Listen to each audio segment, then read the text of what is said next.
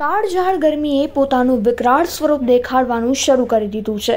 જેને લઈને હાલમાં સાબરકાંઠા જિલ્લાનું ઈડર પણ ધગધગી રહ્યું છે. જો કે ધગધગી રહેલા ઈડરના લોકોને એક વનસ્પતિ ઠંડકનો અહેસાસ આપી રહી છે. અને એ છે ઈડરિયા ગઢ પર આવેલા કુંડમાં થતી ટાઢુડી નામની વનસ્પતિ. માત્ર હિમાલય પર્વત પર આવેલા કૈલાશ માનસરોવરમાં જ જોવા મળતી ટાઢોળી નામની વનસ્પતિ ભારતભરમાં માત્ર ને માત્ર ઈડરિયા ગઢ પર જ જોવા મળે છે.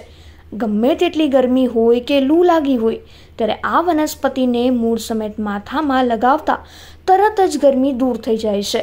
તો પગમાં લગાવતા પગના વાંઠા પણ દૂર થાય છે તેવું સ્થાનિકોનું માનવું છે. ફરીથી.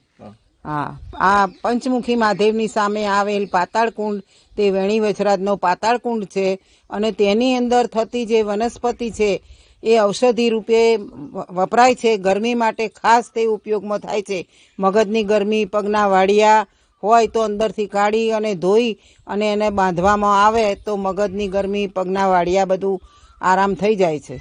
ટાઢોળી ટાઢોળી એ ઈડર ગઢ ઉપર આવેલા પંચમુખી મહાદેવની સામે આવેલો કુંડ વેણી વછરા છે. એ અમી અંદર ઉગે છે. એ માત્ર હિમાલય તથા આ કુંડની અંદર જ ઉગે છે અને બીજે ક્યાંય થતી નથી. તેનો ઉપયોગ ગરમીમાં રાહત માટે પ્રજા ગરમી, મગજની ગરમી, લૂ લાગી હોય તેનો ઉપયોગ થાય છે. આયુર્વેદિક ઉપયોગ એનો ઘણો સારો થાય છે અને ઘણા લોકો આનો ઉપયોગ કરે છે અને વર્ષોથી થતો આવે છે. પણ એ વનસ્પતિ કુંડમાં નીચે ઊંડાણમાં હોવાથી, પગથિયા બરાબર વ્યવસ્થિત ના હોવાથી એની મરામતની જરૂરિયાત છે. ને આની મરામત કરવી જરૂરી છે. ટાઢોળી વનસ્પતિ, ઈડરિયા ગઢ ઉપર પંચમુખી મહાદેવની સામે વ્યાણી વછરાજનો જે કુંડ આવેલો છે, તે કુંડની અંદર ટાઢોળી નામની એક વનસ્પતિ ઉગતી હોય છે. એ વનસ્પતિ ફક્ત ને ફક્ત હિમાલય અને બીજી ઈડરિયા ગઢ ઉપરના જે કુંડ છે, એમાં ઉગે છે. એની ફાયદા.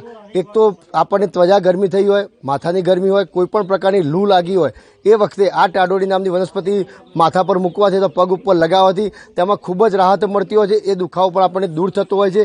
અને ફક્ત ને ફક્ત આ ટાડોળી નામની વનસ્પતિ હિમાલય અને ત્યારબાદ આપણે ઈડરિયા ગઢ ઉપર જે કુંડ છે, ત્યાં જ મળે છે. બીજે ક્યાંય આ વનસ્પતિ થતી નથી. અને બીજી વાત કે આ આ વૃક્ષ, આ વનસ્પતિને તમે બીજી કોઈ જગ્યાએ લઈને ઉગાડવા જાઓ તો આ ઉગતી નથી. આ ફક્ત ને ફક્ત અહીંયા જ થાય છે. માત્ર ઈડરિયા ગઢ પર જ જોવા મળતી આ વનસ્પતિ ફક્ત આ વેણી વચરાજના નામ સાથે જોડાયેલા પાતાળકુંડમાં જ જોવા મળે છે. વળી ઘણા લોકોએ આ વનસ્પતિને ઈડરમાં જ આવેલા રાણી તળાવ સહિત અન્ય જળાશયોમાં ઉછેરવાનો પ્રયત્ન પણ કર્યો છે. પણ તે આ કુંડ સિવાય અન્ય કોઈ પણ જગ્યાએ થતી નથી. તો લોકો અહીંથી ગમે તેટલી વનસ્પતિ લઈ જાય તે ફરીથી ઉગી જ નીકળે છે. ફરીથી આ કુંડ વનસ્પતિથી ભરાઈ જાય છે. પરંતુ વનસ્પતિ ખૂટતી જ નથી.